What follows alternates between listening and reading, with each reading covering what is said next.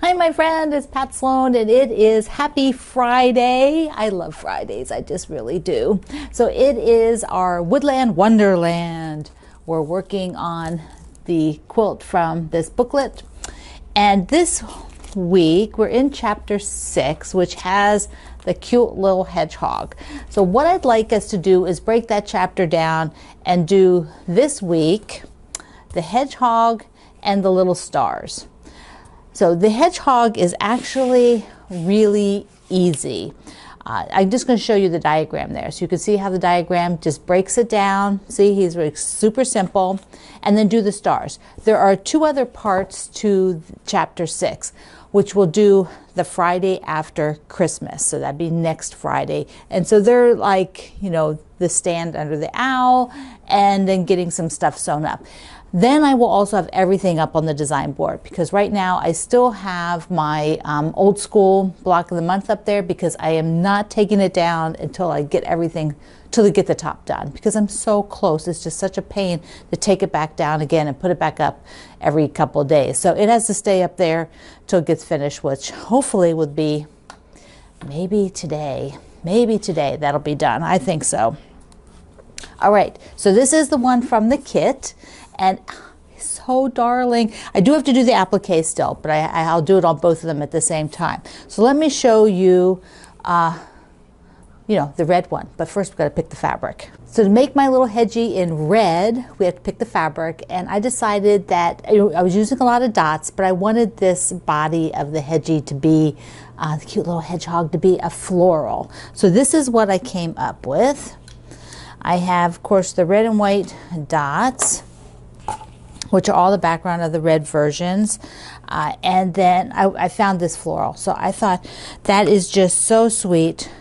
But I need a face that shows up against here. So, you know, I can't use the whites. I thought, oh, okay, so I've got a taupe for um, year of color next year. This would be one of one shade of taupe. Uh, so I got that, and I think that'll be really good. So now this is directional. So do I want the lines going horizontal or vertical, probably horizontal. So I'll probably cut it like that. Now there are just two pieces I cut for here. And that means uh, cutting cutting process. One of our friends asked, you know, she she learned a bunch of people were taught at some point in your quilting career you were taught cut one long strip and then subcut. And I was never taught that, so that was never in my even thought process to do that. I basically cut what is needed because particularly I'm making just one hedgehog. I'm not doing the whole quilt from these fabrics. I'm not reusing this fabric somewhere else.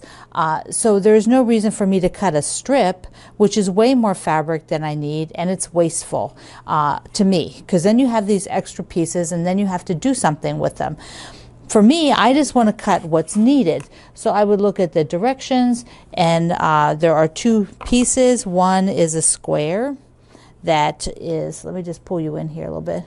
One is a square, and the other is just a little bit bigger than, a, than the square.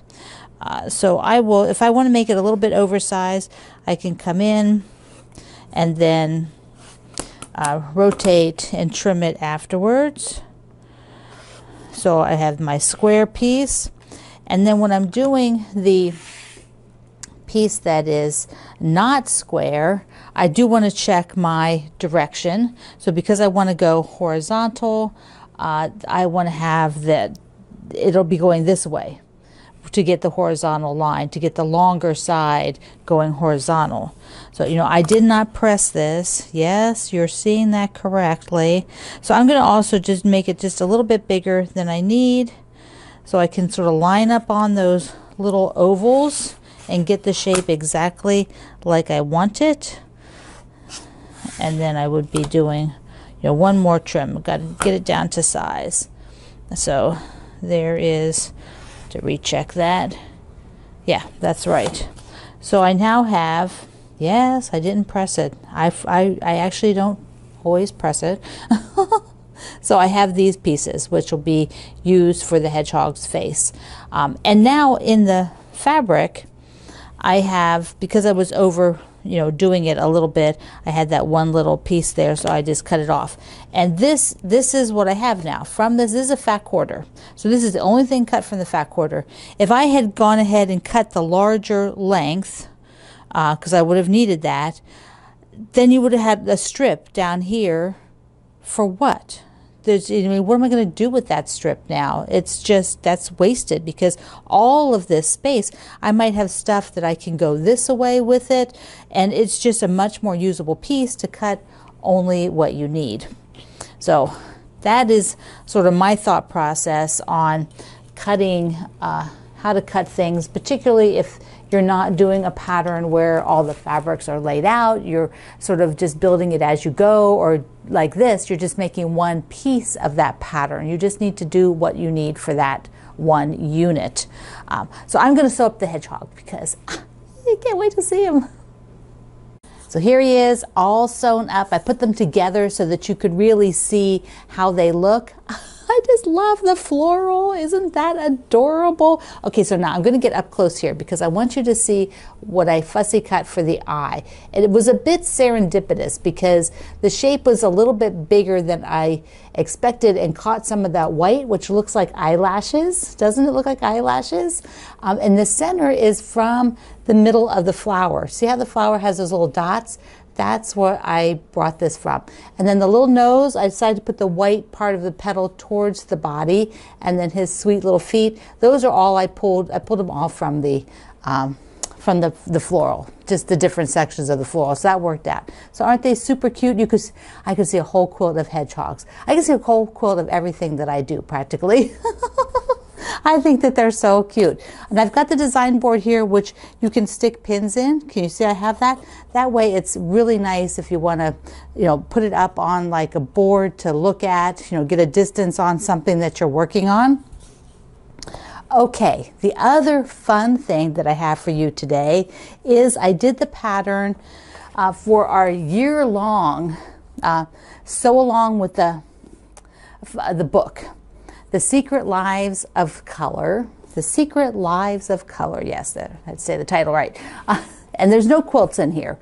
My idea is to do the Shoo-Fly blocks as we go along, which I've got a nine inch Shoo-Fly block and a six inch, and I'm in the progress of making a three inch so that I'll have that to show you in the next day or so. And I'm going to make them all up in a, the three sizes in a different color as well. Just give you some ideas of what to do.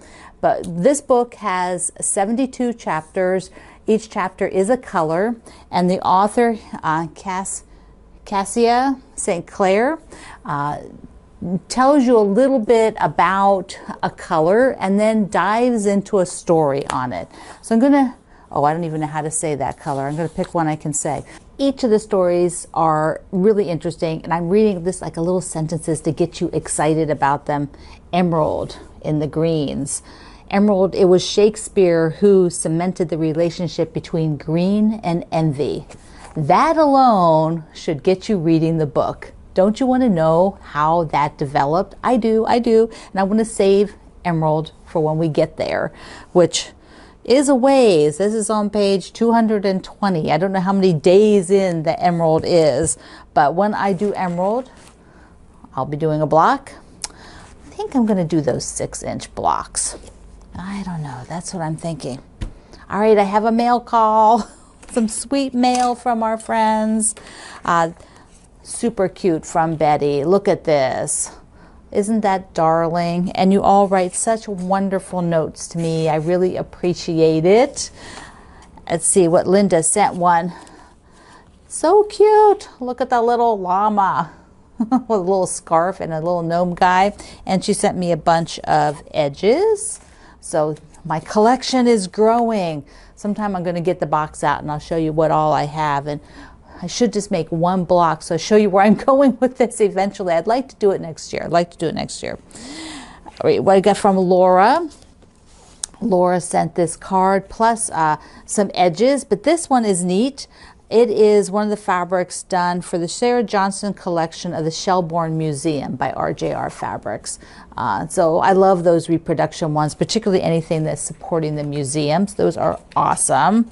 So thank you, Laura. And then I have Valeria sent me Yes, a basket of goodies. Oh my goodness, you are so sweet. She is often, you are often waving to you. Yes, Valeria, you're in our morning chats. So this yummy basket from Hickory Farms has uh, loads of, like, of course, sausages and cheeses and beautiful wines. Look at that. There's crackers in there and cookies. Ah, this is so gorgeous and like a really neat box that I can use again that will be very useful. I love containers. okay, my friends, you are going to make a hedgehog and some stars. Don't forget the stars. See if you can squeeze all that in, or at least squeeze the hedgehog in, you know, because you got to do the cute one. Uh, you can get the scars, scar, the, the stars next weekend. And then if you're thinking about doing this with me, or even if you don't want to sew along, if you just want to read along, that would be awesome. There is a digital book and an audio book for this. So even if you're just reading uh, every five days, we'll probably read a chapter. I think that's how it works out so that we end um, just before the end of the year. So excited. All right, I love you. Mwah. See you online.